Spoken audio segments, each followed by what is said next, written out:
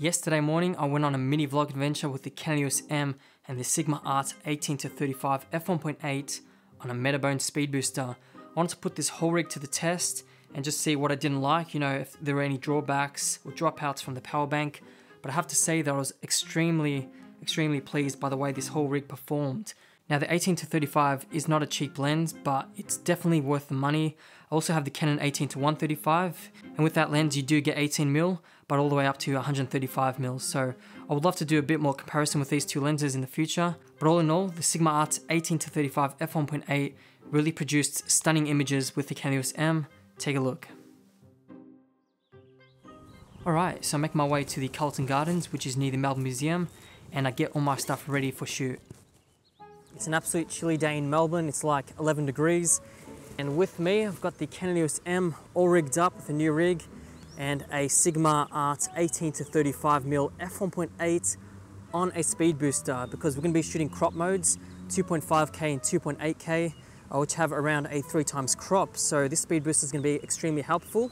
And to get awesome battery life I've got a power pack on the back. This is a power bank and it's connected into a dummy battery inside the EOS M. So we're going to put this to the test this combo. I've also got a Tilta matte box at the front but looking at the weather condition, it's quite windy and cold, so I don't think I'll use the matte box. However, at the front here, you can actually insert an ND filtration. So I've got a variable ND at the front. I can switch it from the front, no hassle at all. So you can, you know, keep the matte box on without switching it out. But uh, we're gonna put this combo to the test now, get some cinematic shots going, and I'll explain what I'm doing. All right, so I've got the Canon EOS M here with a mini tripod, and we're gonna go get some ground shots with the Canon EOS M.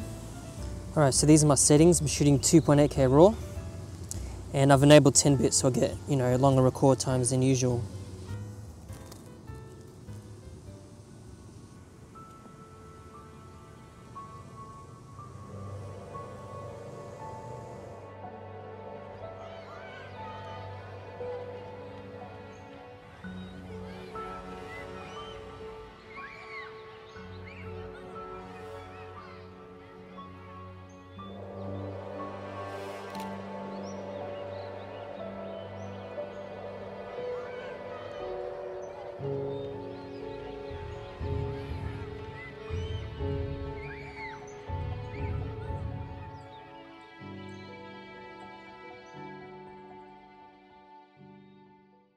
All right guys, so what we're gonna do next, it's the wind's picking up, it's getting quite windy.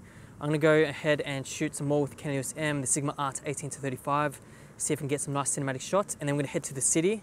And there's this place called ACMI. So you go inside and they showcase like technology of the past and technology of the future. It's a quite a dark space, and so I'm gonna test out the Sigma 18 to 35, see how well it does in low light with the f1.8 aperture. So let's go.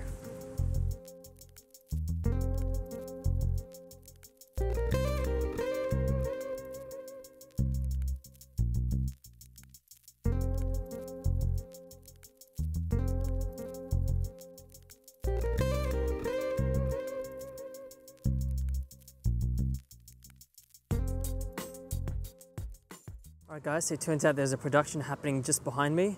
I think it's like a rope production, so let's get some B-roll on the Canon EOS M.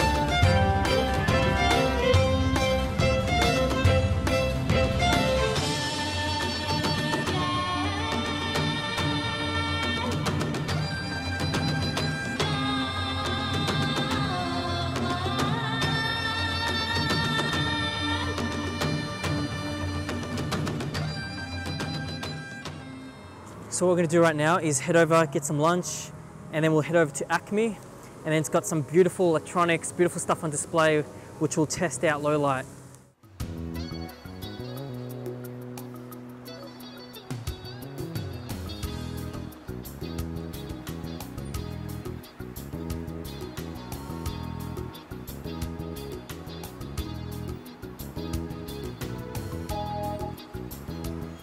Before I made my way to the ACMI Centre, I was feeling quite hungry and so I went over to the Starbucks coffee to get some lunch.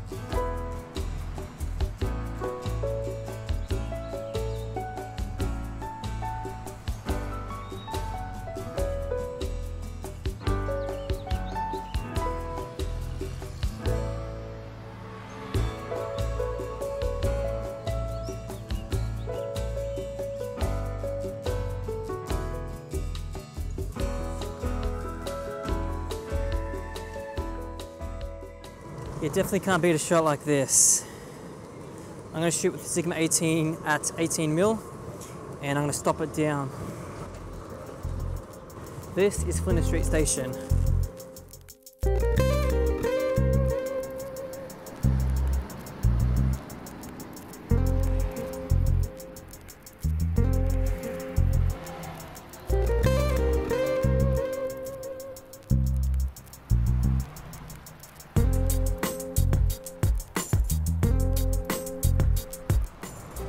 Feels solid. This handle is like the best thing that I've ever got for my EOS M.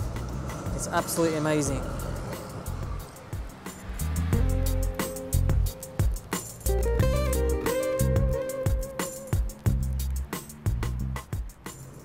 Alright guys, this is Hardware Lane. I'm going to go and test out the Canon EOS M, get some raw footage going on the Sigma 18 to 35 over here. And then just across the road is the ACMI Centre and that's where we're going to test out the low light on the Sigma 18 to 35. So let's shoot some B-roll.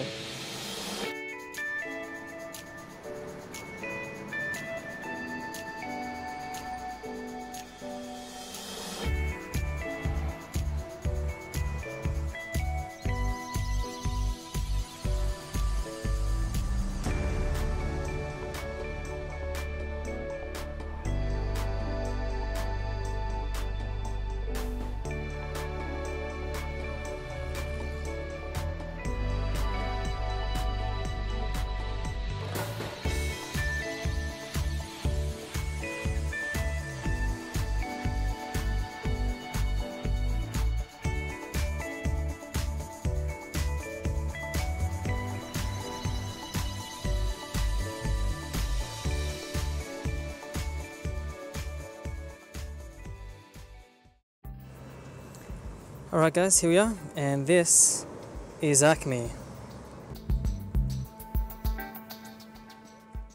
Now I'm not sure if they allow for cameras inside, but I'm just gonna bring it anyway. Got my bag here, should be good. As you make your way into the ACMI Centre, there is lots of technology on display. There's past, present, and future technology, so it's great to see some stuff. I even saw the Blackmagic Pocket 6K and how it got created, as well as the Ursa Mini, so yeah, really cool place.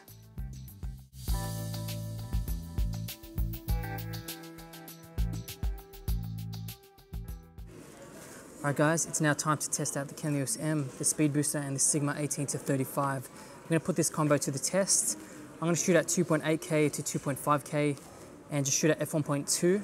I'm also going to bump the ISO from 100 to 160 just so we get more light to the sensor and we can always denoise in post if we have to. So let's go ahead on this side.